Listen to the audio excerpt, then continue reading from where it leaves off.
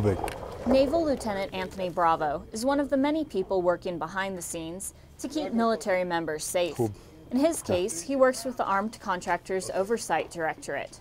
Today we are collecting the biometrics or the life measurements of potential armed security guards. So what we were doing was collecting photographs, iris scans, and fingerprints.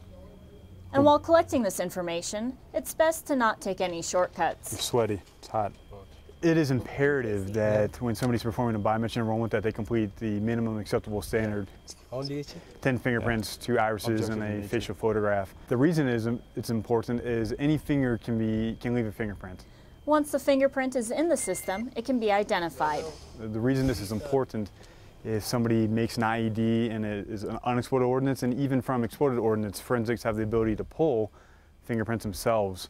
Therefore, if a fingerprint has been identified on, a, Cool. on an unexploded ordnance, for example, and then co-located with somebody who's trying to obtain employment as an armed security guard, they will be identified as a threat.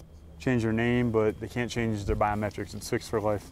And by using biometrics to identify potential threats, Lieutenant Bravo is helping military members stay safe. Air Force Staff Sergeant Rebecca Goodwin, Kabul, Afghanistan. There we go.